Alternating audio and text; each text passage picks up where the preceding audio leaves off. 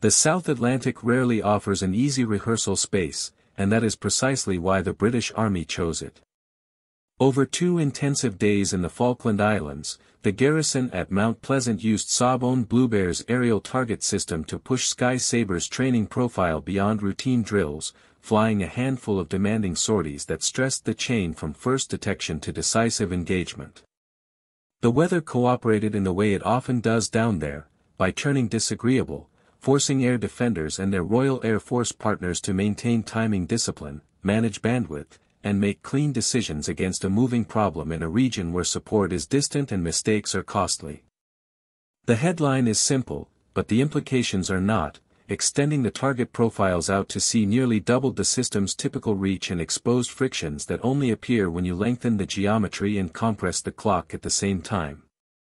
At the heart of the British land-based shield is Sky Sabre, a system designed from the start as a triad of complementary functions, a fast refresh surveillance radar, a battle management node that treats data as a weapon, and an effector capable of agile engagements without advertising itself on launch.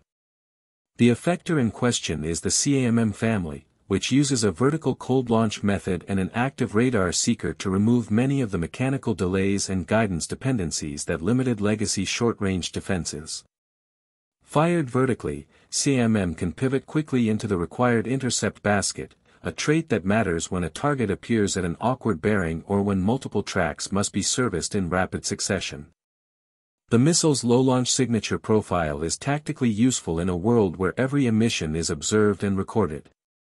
The sensing layer is anchored by Saab's Giraffe AMB, a 3D C-band radar prized by expeditionary units for its one-second revisit rate and robustness in the cluttered physics of coastal airspace. In the South Atlantic, where maritime ducting, spray, and hard winds can degrade lesser sensors, a mast-mounted antenna and smart processing keep small or low-flying objects from slipping below the horizon of attention. More important than any single specification is how quickly the radar can offer engagement quality tracks to the command node without forcing the battery to plant itself. The point of Sky Sabre is mobility coupled to knowledge, move, rebuild the air picture, maintain control even under emissions discipline, and still shoot on time.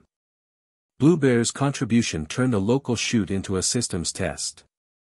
The company brought not only air targets but the specialists to reconfigure envelopes on the fly.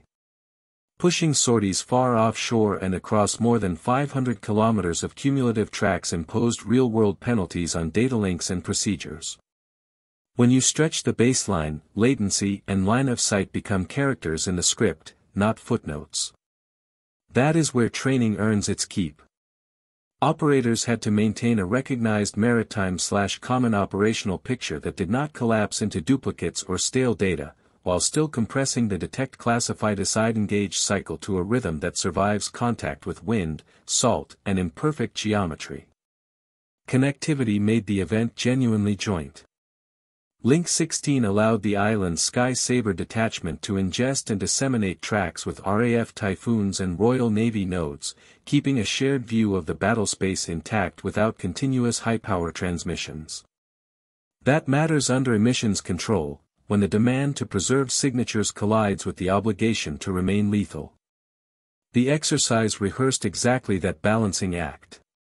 You do not broadcast more than necessary, you also do not lose the thread. The right shooter, right target, right moment mantra only works if the network carries clean, timely updates and the command node resists the temptation to micromanage. In this rehearsal the pairing logic was the point, not an accessory. The Falkland setting adds an operational twist that home station ranges cannot replicate. It is one thing to drill on a temperate field with maintenance crews and spare kits minutes away, it is another to validate that a compact garrison can move, reconnect, rebuild the air picture, and fire in bad weather with resupply chains measured in oceanic distances. By pushing a target system beyond its routine radius, instructors force the detachment to experience the frictions of long-haul coordination, intermittent line of sight, and tempo in a place where improvisation is a requirement, not a luxury. That is not showmanship, it is risk management. You uncover the weak joints in a controlled environment before an adversary manipulates them. The tactical takeaways are concrete. First, high-refresh 3D surveillance with intelligent mast placement remains the bedrock of ground-based air defense against small, fast, and low targets. Second, active seeker missiles with vertical cold launch expand engagement geometry, shorten decision time, and reduce the electromagnetic footprint at the worst possible moment for the attacker. Third, modern GBAD lives or dies on data hygiene, if Link 16 feeds a cluttered or lagging picture, the slickest effector does not save the engagement. KOP Shield's discipline on timeline management and track stewardship was not a checklist item, it was the exercise. Strategically, the deployment points to how the United Kingdom intends to employ air defense as a layered, networked enterprise tied into NATO architectures rather than as a standalone island. A small, professional detachment can matter a great deal if it can see, be seen, and coordinate without drowning in its own emissions. The presence of typhoons provides a second interception layer and a sanity check on joint tactics, techniques, and procedures. It also creates options. When the battery's geometry is suboptimal or emissions constraints bite, a fighter with the same picture can prosecute, and vice versa. That interplay is what deters miscalculation more than slogans do. There is an industrial subtext as well. For Blue Bear and Saab, extending target profiles is not a cosmetic metric to tout in brochures, it is the fastest way to surface vulnerabilities in sensors, data links, and human procedures demonstrating that the target system can be reconfigured and stretched in austere conditions amounts to a proof of relevance, and it aligns with the broader European effort to sustain a competitive defense technological and industrial base. For the Army's 7 Air Defense Group and its counter, uncrewed aerial system training team, the value is muscle memory, build the picture early, share it cleanly, and assign the shot without hesitating, especially when the scenario is untidy.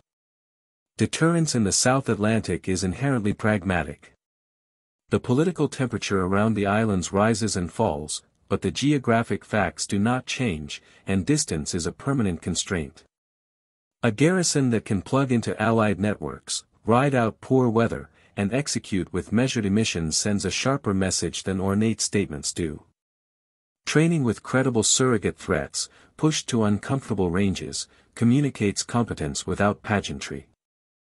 It says that the defenders have tested the plumbing, not just the posters. There is no single revelation in this exercise, and that is precisely its strength. KOP Shield stitched together known components, fast radar refresh, agile missiles, a disciplined network, under conditions that punish complacency and expose sloppy habits. The outcome is a more confident crew, a validated command and control rhythm, and a better understanding of where the edges truly are. If there is a lesson to export beyond the South Atlantic, it is that the hard problems sit at the intersection of physics, software, and human timing. Stretch the distance, shorten the clock, and see what breaks, then fix it before someone else makes it break for you. In the end, the measure of success is whether a small force can protect a large strategic narrative, the assurance that a distant but important outpost is not a soft target. By compressing timelines, enforcing electromagnetic discipline, and letting joint connectivity do its quiet work, the British Army and its partners demonstrated that Sky Sabre is not just a collection of subsystems but a coherent defense. The South Atlantic will keep being a difficult classroom. That is fine. Difficult classrooms produce the kind of reliability that matters on the worst day, and exercises like this one steadily turn equipment lists into deterrence you can actually believe.